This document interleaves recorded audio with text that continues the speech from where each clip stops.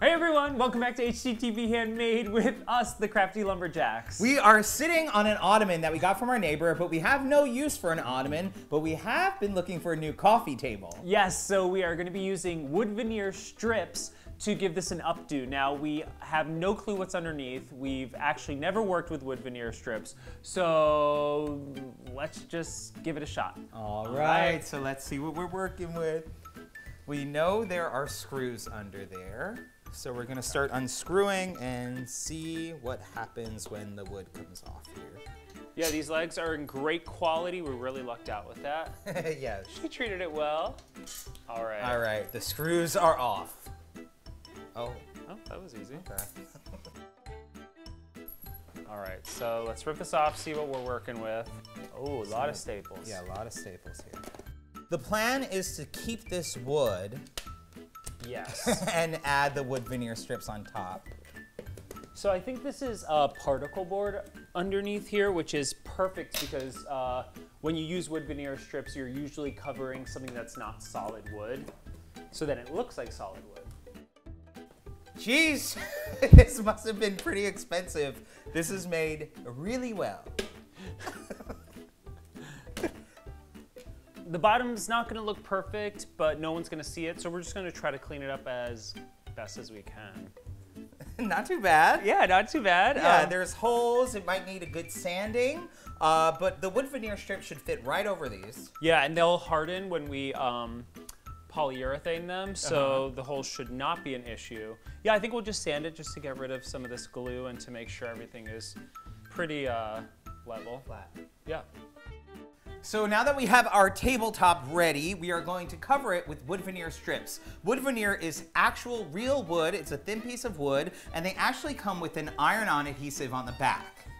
Yeah, so all you have to do is lay it on top. Uh, we're gonna cut it, lay it on top, and then iron it with a really hot iron, and it should stick. Okay, we're gonna start it from the center and work our way out. We decided we wanted to do kind of a crisscross applesauce um, pattern on our table. Um, so we're gonna start with a big piece here. Yeah, and you just wanna, when you're applying your veneer strips, you just wanna apply it a little bit over your piece of wood. All right, so we have our iron set on cotton.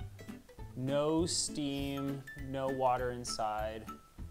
And we're just gonna go over it. Yep, and you could already see the adhesive starting to spread a little bit. You can check it, see if it's sticking, which it is. Andrew, maybe you can do a little more up there. Sure. All right. And then once you have the iron on and it seems like it's sticking, you want to take a roller or something heavy and just kind of roll it out just so it really sticks and adheres to the wood.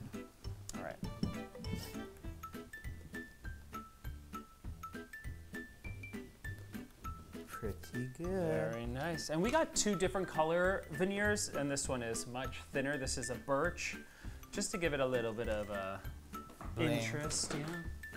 Yep, so we're just going to work one piece at a time. And line it up right here.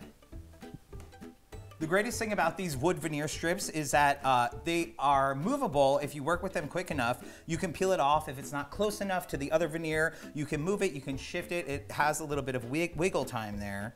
Uh, gives you some time to work with it. And we are just going right over the holes. We're not gonna worry too much about it. Again, this is just gonna be our little coffee table, so it doesn't have to be too secure, too perfect. All right, so this is going really well. We're gonna try to switch things up and uh, bring the diagonals going this way. Uh, I think for that though, we're gonna need to get some really uh, clean edges. So we're gonna cut them with a razor, just so we have like really clean lines.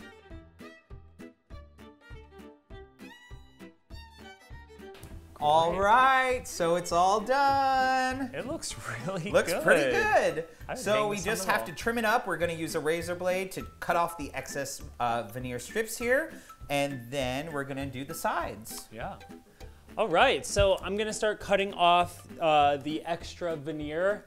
I just have a nice flat surface to hold against the board just to make sure it's nice and straight. All right, we right. have all our edges cut. Let's take a look. Okay. You look first. Oh, it looks good. It looks really good. It looks really nice. it's mostly free. I know. If it's free, it's for me. Okay, so we're gonna start adding on the sides, and the way you do that is you line up the top, and then the extra will be on the bottom, and then you'll cut that off. All right, so now we're just gonna iron it on, just like the others, and then roll. If you're having trouble lining it up on the top, just uh, if your veneer isn't cut perfectly straight like this veneer isn't, don't worry because you're just gonna sand it on the top anyway, so you'll get a nice crisp line. Okay, so now we do the opposite side. All right, awesome. So now we're gonna cut um, the extra pieces just on the bottom. You wanna do this one? Sure, just the sides. Yeah, just the sides and the bottom. All right, so it is finished. I couldn't be happier. I mean, this looks looks incredible. beautiful. It really is. So now we're gonna sand it, and from what we found out online is that you really don't need to be delicate when you're sanding. Sand with the grain, but also don't feel like it's um, like it's fragile. You really want to make sure you get all those splinters off. And you're starting with a lower grit, right? Uh, I'm starting with a 100 grit, so that is a rougher sandpaper, and then we're gonna work our way up to a finer sandpaper. And for the edges, we can go like a little bit of a diagonal just to like clean up the, uh, the tips. the tips and that line. All right, so now we're gonna go up to a 220 grit, and let's just do it again. You know what I love about this project is that this was basically our first time doing this. We did like a little test Uh-huh. on another piece of wood, but I just love a project where it seems really hard, it looks like it was really hard, but you could do it on your first you. you. you can do it on your first shot. That is a winner to me. We're gonna use the same screws that we used for the ottoman uh, to use for our new coffee table, and then we just have one final step. All right, All the screws are on. Let's do turn it. her up. Oh my gosh. Wow. Uh, last step, we're just gonna add a couple coats of polyurethane on top. You just wanna go with the grain and not over brush. I really like how the color is changing already. Yeah. Look at that. And you could also use any type of wood stain on this. I can't believe it. It looks super awesome. We're really super does. happy with the outcome. I think wood veneers might be our new favorite thing to craft with. Our new BFF. Yes, if you ever tried wood veneers, leave a comment below. Let us know what you're making. Don't forget to like, give us a thumbs up, and we'll see you soon. Bye bye. Bye.